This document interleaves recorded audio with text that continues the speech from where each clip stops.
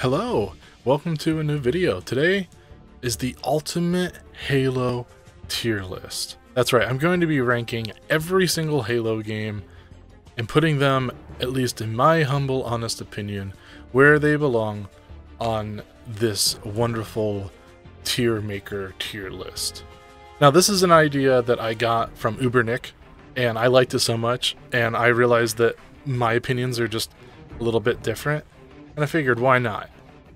Let's let's have our own go at it. So that's what I'm going to be doing. I'm going to uh, start off by ranking all of them. I think the best way to go about doing this is just going from left to right, starting with Halo Reach. Actually, we'll start with right to left. That's how we'll, we'll do it. We'll start we'll start right to left, starting with Halo Fireteam Raven. Now, if you don't know, Fireteam Raven is a Halo game exclusive to Dave and Buster's. Uh, I used to uh, work briefly at a uh, Dave and Buster's, and I got to play a decent amount of uh, Fireteam Raven. And it's actually a lot of fun for an arcade game. Probably one of my favorite arcade games. It's very reminiscent of like Area 51 and that sort of deal. Um, so uh, if you rank it as an arcade game, I would go pretty high with it. However, I think the rules of this should be I'm going to rank them all as Halo games. And uh, since, you know, obviously it's an arcade game, it's a little light on the story department, and uh, it doesn't really go in depth because it doesn't need to. Um, it's not a bad game by any means, but it's not really a true Halo game. So I will start off by putting this one right here at D. Okay, so next off is Halo Wars, the first Halo Wars. I absolutely loved Halo Wars. Uh, eh, when it came out, I don't even know when it came out now. What would have been 2000? I want to say like 2007, maybe 2008, somewhere around there, if I'm remembering correctly. Someone will correct me down in the comments below, but when it came out, I played it day and night um, mostly for the campaign. I absolutely loved it, and at the time, the cinematics in it were probably some of the best cinematics I ever saw up to that point. And even by today's standards, they hold up incredibly well. Sometimes I'll just look up the cinematics on YouTube and just feast my eyes upon their glory. So, Halo Wars was a lot of fun for me. I never really got too much into the multiplayer. I played a little bit with just my friends, but uh, I'm not very good at RTSs in the first place, so when I went online, I realized it was just mostly a race of who could get the most grizzlies the fastest. And if you perfected your speed run to acquiring a max army of grizzlies, you would probably win. Um, or you would rush with the Arbiter. That was never a lot of fun. Anyways, so Halo Wars for me, I mean, as far as uh, whether or not it's a good Halo game, I think it's a fantastic Halo game, especially with the story that we got from it. It was so different, so unique, uh, and honestly, uh, led way for some major things to take place within the Halo canon in future games. Uh, it was a very important game, whether they realized it at the time or not. Uh, so I have to put Halo Wars at the B tier. Absolutely. Honestly, I would probably go higher, but I'm just trying to be a little conservative. Now, we're moving on to let's do both of these right now. We'll go out of order just a little bit just for the time being, but we will uh, do both of the mobile Halo games because in my opinion they're kind of one and the same. They are built on the same engine, I believe. They have the same exact controls. Uh, don't ask me what the stories were because I played them on my cell phone when I was, you know, on my way to work or on lunch break and stuff like that. I never really had audio. I was just kind of doing the quests and the missions, and it was fun. I enjoyed it. But again, is it a real Halo experience?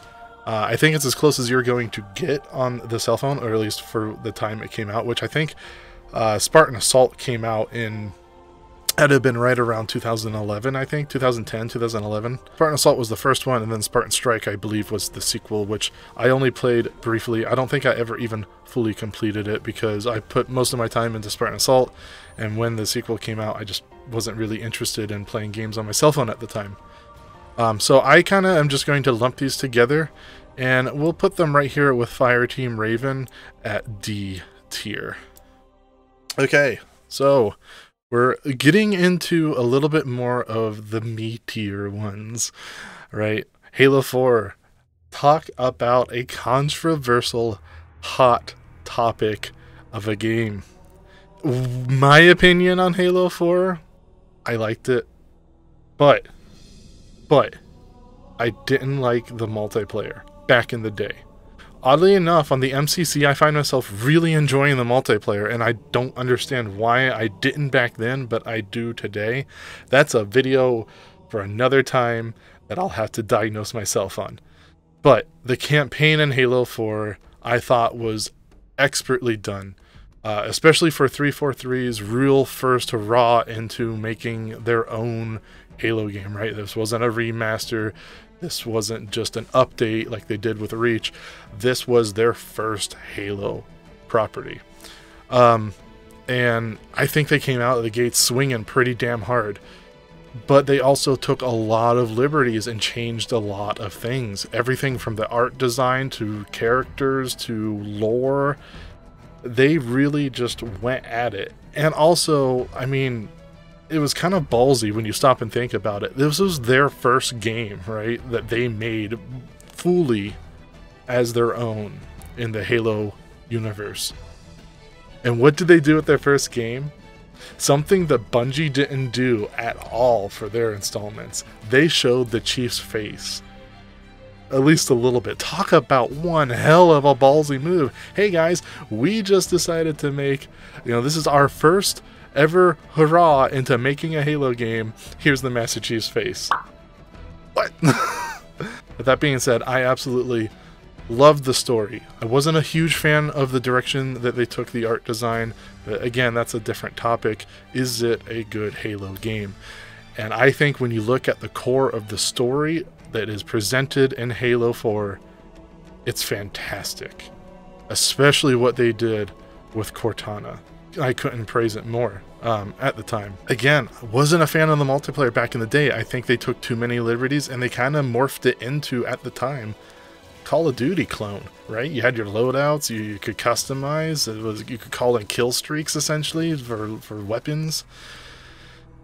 Law, so there is a lot of bad, but mostly on the multiplayer side of things, in my opinion. So because of that, we're going to go ahead and put it right here in the middle at C tier. I think it has a fantastic story, but the multiplayer definitely holds it back. Moving on to Halo 3 ODST. We all love ODST. It brought back the fear in Halo. When you see a group of enemies, you didn't just charge at them. No, you snuck around. You tried to avoid them at all costs. Or at least that's the way I played it. With the night sky and the soft somber jazz playing in the rain, and it was just, oh my god. Halo 3 ODST, for initially being released or uh, revealed as DLC for Halo 3, literally turned into its own game. Sure, it's a little bit on the short side, but it turned into its entirely own thing. And I think we were all better off for it. Halo 3 ODST easily gets A tier, in my opinion. It it's fantastic. Everything from the soundtrack to the art design to the characters and just the atmosphere.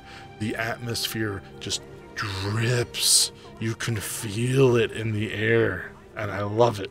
This next one is Halo Combat Evolved. I mean, come on, it, it's the Halo game that started it all. It's the one that invented what Halo would be going into the future. It's the one that invented the Covenant dance that we all love and get addicted to. It's that fantastic style of, of gameplay, and it was all nailed right from the get go over 20 years ago at this point. Isn't that crazy to think about? I mean, look, if Halo Combat Evolved wasn't cream of the crop, would we still have a franchise going to this day? I don't think so. So, Halo Combat Evolved has to be S tier. I mean, is it a good Halo game? It is the Halo game. It is it is the defining factor as to what makes Halo Halo. It is the Halo game in which we compare all other Halo games to. It has to be S tier. There's no question about it. The campaign was excellent. Even the library was excellent. Beyond excellent for the time. And the multiplayer was revolutionary. We're moving on to Halo Wars 2. Halo Wars 2 was an important stepping stone for 343. It was their first time kind of giving in and giving the fans what they wanted. Uh, we saw the return of the classic Halo art style, but also mixed in was their own unique art style, and it kind of created this new blend of old and new, and it worked really well. Visually speaking, Halo Wars nailed the Halo aesthetic for the first time from 343. The campaign, fantastic. Amazing story that introduced the Banished, which is now obviously going to be the main antagonist of Halo Infinite. So Halo Wars 2 was massively important. As for the multiplayer, I never, again, got really into it. I never really got into it. Not my cup of tea. Uh, when I did play, uh, maybe because I was playing on PC, but I found the games were extremely laggy. Uh, often it would just freeze, and I would have to wait for the other player to either disconnect or reconnect the few times that I did have a solid match, it really did just feel like a race to the most powerful units. Um, I think the balancing is a little uh, off in the Halo Wars games. I think more units should be viable, but it really seems like everyone just goes and rushes towards the biggest, heaviest, hardest hitting units. And maybe there's a tactic to counter that. Maybe that's a noob tactic, and I just never learned the game well enough to know that all you got to do to stop that is to do this, this, and this. I never played it enough to learn. Um, so I never really got into the multiplayer, but the, the campaign, again, was really good and it's super important because it's what brought Halo back onto the right path. And it was the first time that I think the majority of the Halo community all agreed that it was the right direction to go in. Uh, so because of that, I'm also going to put it right next to Halo Wars 1 at B tier because I think it is a very important experience. Halo 5 Guardians. This is going to be a spicy one, a little controversial, um, but I don't think Halo 5 had any redeeming qualities. Uh, keep in mind, I played Halo from the year that it released, which was 2015, I believe. I played for about a year. I played from probably 2015 to 16, something like that. And in that course of the year, I didn't really touch it. I mean, if you look at my playtime and you look at the matches, multiplayer matches played, it's pathetically small compared to the other Halo games. And that, I think, alone kind of speaks. Uh, leagues about it. But let, us cover the campaign first, right? The campaign wasn't good. It's as simple as that. It was not a good campaign. Um, a lot of the weapons were redundant. A lot of the characters were just lackluster or altogether just irritating to watch and listen to. The fact that, you know, 343 didn't really seem to know who the main character of of Halo 5 was. You put the Master Chief's face on the on the box or and yet you play as him for what, 3 missions? That's it. I felt insulted. Instead, we got Locke being shoved down our throat telling us that we had to play as him. I didn't want to play as Locke. Now, if you take the original story that was presented to us from the marketing that would have been a pretty intriguing story that I could have got behind. In fact, I was pretty damn excited for Halo 5 when it was releasing. I was like, holy crap, the Master Chief went rogue. Why? And now I have to play as a character to stop him? If we got that story, it could have been potentially awesome. But ultimately, at the end of the day, that's not what we got. We got a clusterfuck of a story with more plot holes than I can think of and just lackluster writing and storytelling all around the board. The multiplayer, a lot of people argue and say that the multiplayer was enjoyable and fun, and that's fine if you enjoyed it. Uh, I personally didn't. Uh, it didn't feel like Halo. The controls and the Spartan abilities with constant dashing and slamming the ground and it just it, it was too much. It felt more akin to a Crysis game. And if I wanted to play Crysis, I would play Crysis. I wanted Halo, and and we didn't get Halo. So is Halo 5 a good Halo game? Well, in my opinion, no, because it didn't tell a Halo rich story in my opinion. Again, all my opinion, but I don't think it told a story that really belonged or felt natural in the Halo canon and universe. The multiplayer was a shell of its former self with just REQ packs and microtransactions galore. And the Spartan armor and customization just looked terrible. And that's another thing in general. I don't know if anyone out there would ever agree with me, but I think Halo 5 visually is not appealing, especially the multiplayer. I think Halo 5 just looks wrong. It looks plastic. It looks badly lit. It looks bad. I don't know how else to say it. So, I hate to do this to any game in my favorite franchise of all time. But Halo 5 gets F tier, in my opinion. It is not a good Halo game. If it had any other name but Halo, maybe I'd move it up a tier or two. But it's a Halo game and I have to rank it as a Halo game. So, we are down to the arguably three of the biggest games that Halo has ever launched. So we're going to go with Halo 3 first. Halo 3 is legendary. Be legendary, I'm legendary. When things get hairy, I'm legendary. Be scared of me, I'm legendary. When I succeed, I'm legendary. Be legendary, I'm legendary. When things get hairy, I'm legendary. Be scared of me. It was what spawned custom game night.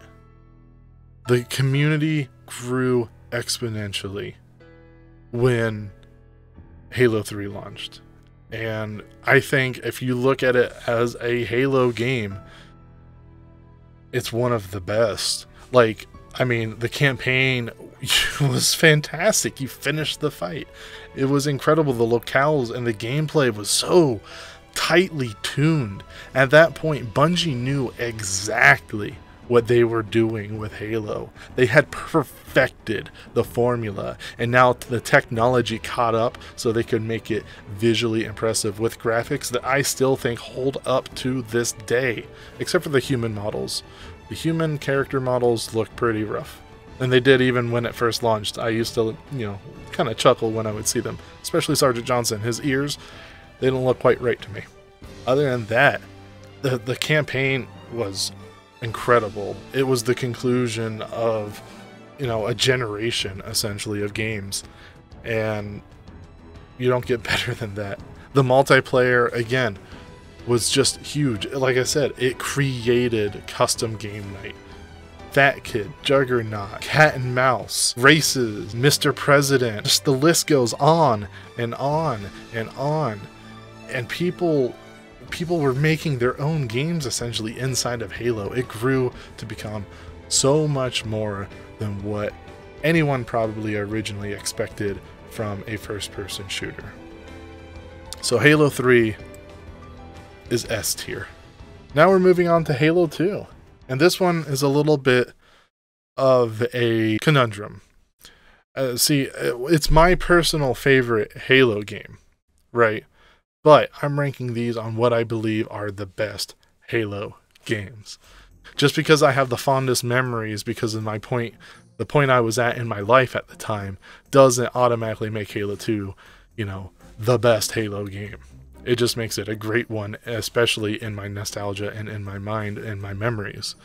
But that being said, Halo 2 is a fantastic game in its own right and was monumental and created um, essentially what Xbox Live would look like in going into the future. Without Halo 2, I don't think Xbox Live would have ever really been the same thing.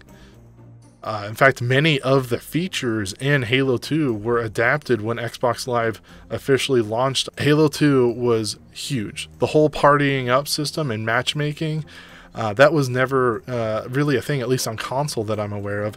You didn't invite your friend to a party and start a match. That's not how it used to be. You would just hit find match, and you would have to, you know, wait for a match to be found. And I think the way it used to work is, you know, like old games, you would just find someone hosting a lobby and you would join them if you wanted to play with your friends. You would do custom stuff. Multiplayer matchmaking wasn't really a thing before Halo 2. I could be mistaken. Someone will probably call me out and say, hey, Casey, you know, this game and this game and this game did it way before Halo 2. And if that's the case, that's awesome. And I'm sorry that I'm mistaken. But I think Halo 2 did it first on consoles at the very least.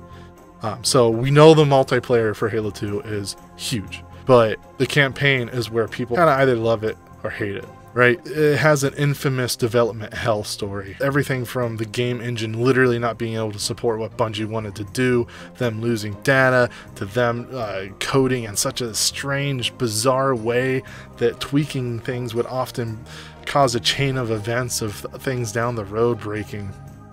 It was a nightmare of a game to develop for, infamously known now, many years later, just how bad it really was. So the fact that it is in the shape that it is, is remarkable and really impressive to me.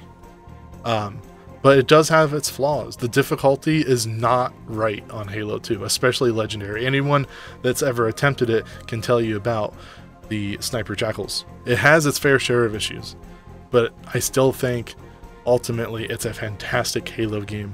Even though it's my personal favorite Halo game of all time, I can recognize its flaws and mostly due from its development hell, but it still hurts it at the end of the day just a little bit, but I still think Halo 2 is absolutely amazing and it deserves no less than A tier, in my opinion. And then finally, we are at Halo Reach. Now, Halo Reach is another fantastic Halo game. I personally enjoyed it, but it was probably the first real divisive Halo game to come out, and it wasn't from 343. It was from Bungie. They really shook up what Halo meant when it came to Halo Reach. Uh, they added new abilities. You could sprint. There was jetpacks. There was bloom and recoil on weapons. You had to pace your shots. The health packs came back. It wasn't just regenerating health. Like they changed a lot of things when it came to Halo Reach, and it kind of fractured the community and fan base just a little bit. Depending on who you ask, it's either their favorite Halo game or it's one of their least favorite. For me, it's definitely kind of in the middle. Uh, there's days that I absolutely love Halo Reach, especially the campaign. Uh, the campaign I thought was really well done. Um, I, the story was super intriguing. Uh, however, I thought the level design and layout wasn't super intriguing. I mean, it was amazing being on Reach and finally seeing play out what we heard so much about and hinted at since Halo Combat evolved. And they finally showed us in person essentially what they were leading up to, and that was fantastic. But I thought some of the level designs were a little hit or miss, um, but the overall arching story was amazing. The multiplayer, it was frustrating. It really was. Um, it still felt mostly like Halo, but it felt like someone kind of kind of just messed it up a little bit right in the process of, of making a new Halo.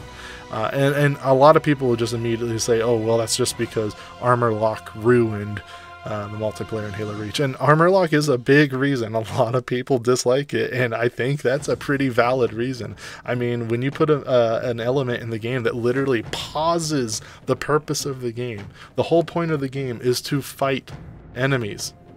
When you put something in the game that forces that to just come to a screeching halt, there's an issue and it breaks the flow of combat. And uh, that is really frustrating.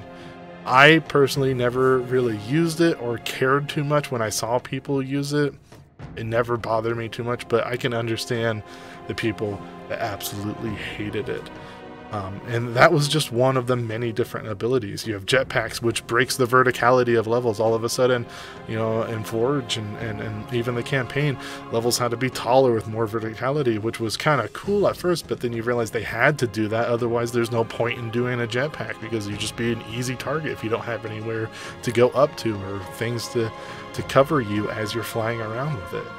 Uh, Sprint was introduced to the game for the first time in a Halo game sprint was introduced and now all of a sudden the multiplayer maps were longer and more spread out to account for the fact that people could run at double the speed that they used to be able to. So the maps had to change.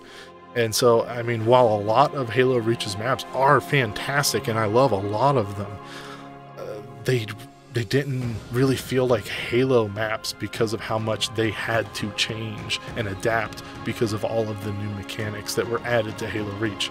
And that is why ultimately it split the community, at least in my opinion and my recollection. So, Halo Reach, I think, deserves to kind of be placed right here on tier C. So this is it right here, guys. This is my ultimate all Halo games tier list. Every Halo game that, well, until Infinite comes out, right? Every Halo game ever released in my tier list here. What about you? What's your tier list? Feel free to comment down below if you think my list is absolutely terrible or if you agree with it.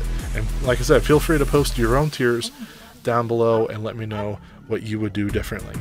I hope you guys enjoyed this video. It's a little bit different, but I think I had a lot of fun making it, and I hope you had a lot of fun watching it. So I hope you enjoyed, and I will see you guys in the next video. Take care, everyone.